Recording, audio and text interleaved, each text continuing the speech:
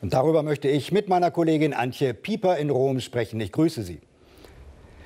Guten Tag. Guten Tag. Eine Audienz beim Papst. Das ist eine schwierige Begegnung von in diesem Fall zwei so unterschiedlichen Protagonisten. Ich kann mir gar nicht recht vorstellen, dass es da ein gemeinsames Foto zum Beispiel von den beiden gibt. Wie findet diese Begegnung statt? Wann und wo? Also wir wissen jetzt, dass äh, der Papst heute um 11.30 Uhr zunächst mal Kardinal Meissner empfängt, zu dessen Kirchenprovinz ja ähm, wie es Bistum Limburg gehört. Und danach um 12 Uhr empfängt er Bischof Thebats van Els. Das wird sicherlich ein schwieriges Gespräch werden. Ähm, und wir werden wahrscheinlich auch wenig davon erfahren. Äh, es findet natürlich im Vatikan statt. Und äh, wir sind natürlich gespannt, äh, ob sich der ein oder andere danach auch äußern wird ähm, beim Herauskommen. Vielleicht. Wir stehen natürlich hier Gewehr bei Fuß und möchten das gerne wissen. Aber wie wird so ein, ähm, wie wird das aussehen? Ähm, es kann schnell gehen, wenn, wenn, ja, wenn der Bischof seinen Rücktritt dem Papst sofort anbietet.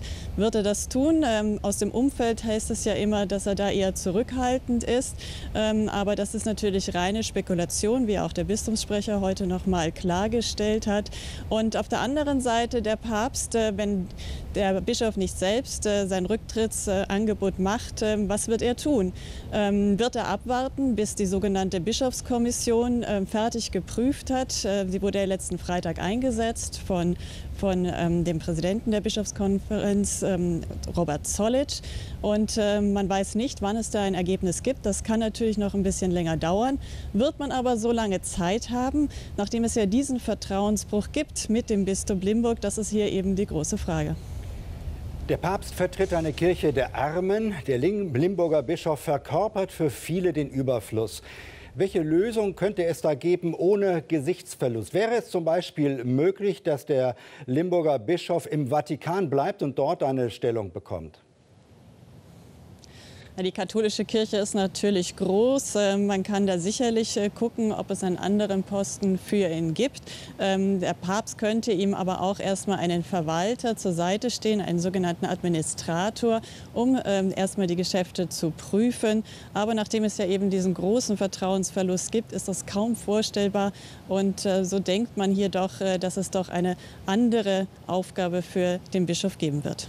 Aber Sie glauben schon, dass es eine Entscheidung gibt? Denn letzte Woche hieß es ja, es äh, ist ja eine Kommission eingerichtet worden, äh, die äh, die Vorgänge aufarbeitet. Und dann hatte man gedacht, das kann noch Wochen, vielleicht sogar Monate dauern. Dann hieß es ja doch nur Wochen. Aber immerhin, wenn jetzt die Audienz stattfindet, wird dann jetzt auch eine Entscheidung getroffen. Was meinen Sie?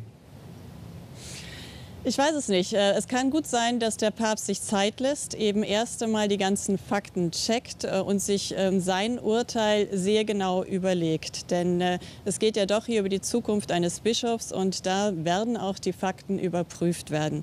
Wir wissen sehr wohl, dass dem Papst ähm, das Gebaren, das Protzgebaren nicht schmeckt. Das wissen wir sehr wohl. Ähm, er predigt ja eben diese arme Kirche für die Armen. Deshalb wird es eine Reaktion geben. Ob die aber so schnell ausfällt, wie wir Medien das immer gerne wissen möchten, das bezweifle ich. Also warten wir einfach ab. Nun wird hierzulande diskutiert, dass es versteckte Vermögen der katholischen Kirche gibt, dass die Kirche in Wirklichkeit reicher ist als gedacht und dass eigentlich niemand recht weiß, wie viel Geld hat sie denn nun wirklich, wie viele Immobilien und wie viele andere Anlagen überhaupt. Wie sehr arbeitet denn Papst Franziskus wirklich an einer Transparenz der Vermögensverhältnisse? Er setzt sich für Transparenz ein. Das wissen wir auch äh, bei der Vatikanbank. Äh, dort äh, hat er alles genau überprüfen lassen. Und zum ersten Mal gab es dieses Jahr sogar einen Jahresbericht der Vatikanbank. Das gab es vorher noch nicht. Also, auch wenn hier noch nicht alle Konten offen liegen, man arbeitet an der Transparenz. Antje Pieper in Rom, vielen Dank für diese Einschätzung.